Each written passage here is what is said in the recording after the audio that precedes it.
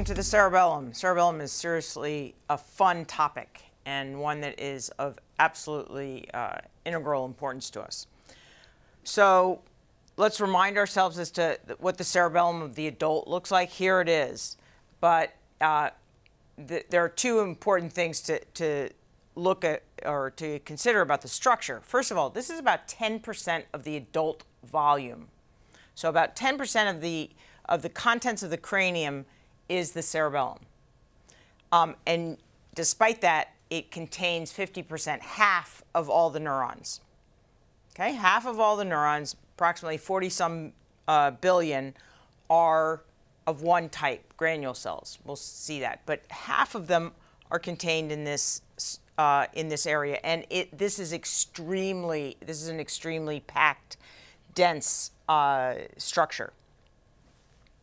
Okay, so we've left the motor hierarchy, and we just spent quite a few uh, lecture series on, on aspects of the motor hierarchy, and now we're out of it. In fact, if you just took a look at the connectivity of the cerebellum, you would think, oh, well, that's part of the somatosensory system. It's, it's somehow involved in somatosensory perception. And why would you have that impression? because the bulk of the input going to the uh, cerebellum is sensory in nature. A lot of it comes from the spinal cord and the brainstem. Some of it comes from, from the cortex as well. A lot of it comes from the cortex in the human as well. Um, but it's sensory in nature. And yet, when you, in adults who have damage, who sustain damage to their cerebellum, the dominant, the dramatic symptom that is observed is ataxia, as you know, and that is a quintessentially motor problem. That is the, the uh, inability to correctly coordinate a smooth movement on the first time out. So, for example, not being able to touch a finger, but instead under and overshooting it not having the correct metrics of the, of the uh, movement needed. So we, we classify the cerebellum, I think correctly, as part of the motor system. And yet it, it doesn't contact motor neurons and um, it has no direct contact out to the muscles. So how does the, let's go to the board to see how this works. What we've talked about in the past, uh, in the past few lectures, uh, is the hierarchy, and that's shown in black. Cortex, brainstem, both project into the spinal cord to motor neurons and to interneurons, which in, and the motor neurons in turn control the muscles. That's the hierarchy. There's only conversation going down. The bosses are telling the underlings what to do, and that's it. There's no talking back. The talking back, uh, the first sign of talking back that we get is, uh, or a sign, a major sign of talking back that we get is using the cerebellum where information comes back into the cerebellum from the, from the muscles, from the periphery, via both the spinal cord and the brainstem. And that reaches the cerebellum, which then talks back not to those motor neurons and not to the spinal cord or the brainstem, to the, to the uh, interneurons even.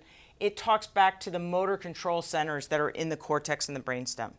So the cerebellum is not part of the hierarchy. It is a quintessentially modulatory structure. And when, it, when we lose the cerebellum, what we're losing is modulation, motor modulation. And that should, I hope, convey to you the uh, incredible importance of modulation, the strength of modulation. Uh, modulation is not a, is not a um, it's not a subtle effect, it's a major effect. Okay, so the modulation, without modulation, movement is not what we um, what we're used to. So let's um, let's highlight a few other features of cerebellar function. Uh, as I as I alluded to, it's got a lot of neurons. Not only does it have a lot of neurons, but most of those neurons are born after birth in the human. So the, um, the, the whole cerebellum is not set up. In fact, it gets set up throughout childhood. And it's not a hardwired system. It's a system that is set up, um, it, that is wired by experience.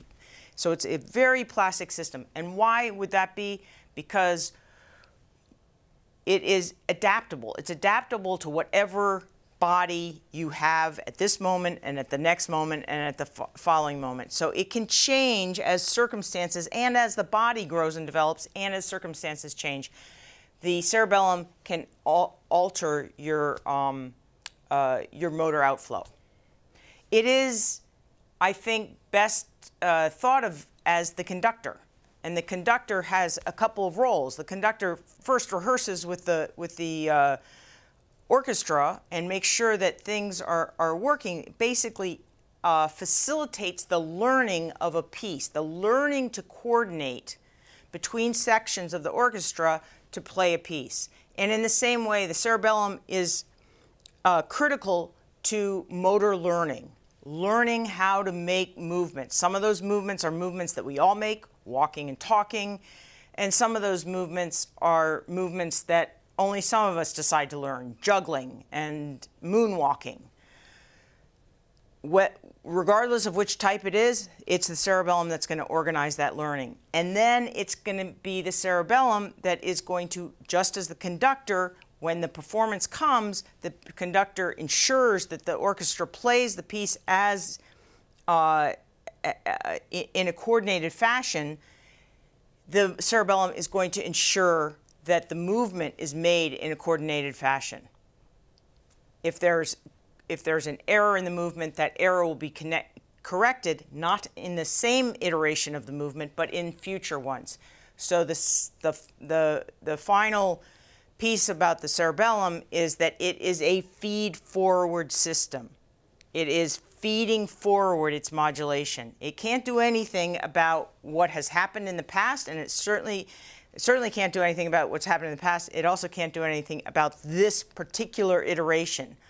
But it can learn from this iteration to make the next step better and the following step even better. And by the third step, you're good to go. You stepped off the sidewalk, you're in the sand, and by that third step, you've got sand walking uh, in, in uh, full force, and you've left concrete walking behind you. In the next video, we're going to look at cerebellar topography.